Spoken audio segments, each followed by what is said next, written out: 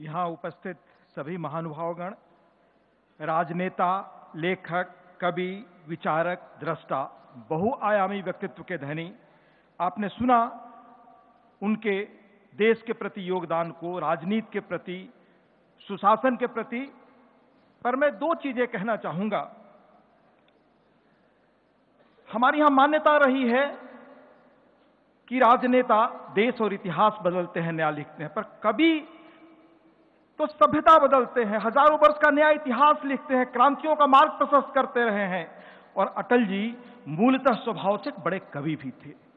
मैं दो चीज़ें उल्लेख करना चाहूँगा।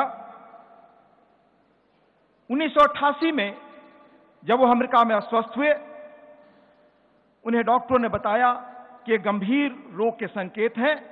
तो उस वक्त एक कविता उन्होंने लिखी। और जिस पत्रिका में सबसे पहले मुझे काम करने का गौरव मिला। उसके संपादक उनके निजी मित्रों में थे डॉक्टर धर्मवीर भारती। उनको कविता भेजी। वो कविता क्या थी?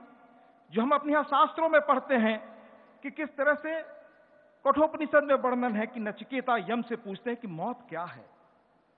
फिर यक्ष युधिष्ठिर संवाद में वो चीज़ सामने आती है। अटल जी में वो चीज़ किस तरह जीवन जीवित रही?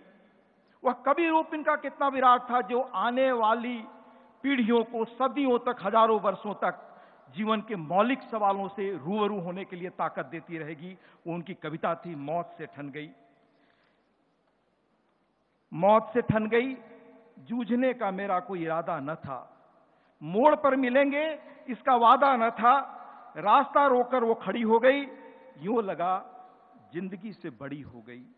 तू दबे पाँव, चोरी छिपे से न आ, सामने वार कर फिर मुझे आजमा मौत से बेखबर, ज़िंदगी का सफ़र, शाम हर सुरमई, रात बंसी का स्वर, पार पाने का कायम मगर हौसला, देख तूफा का तेवर त्योरी तन गई, मौत से ठन गई। इतने बड़े व्यक्तित्व के वह धनी थे।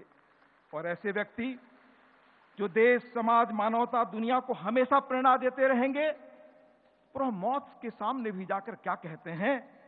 कितना उनका आत्मबल, संकल्प और अटल निश्चय था जो आने वाली पीढ़ियों को भी हमेशा प्रेरित करती रहेगी।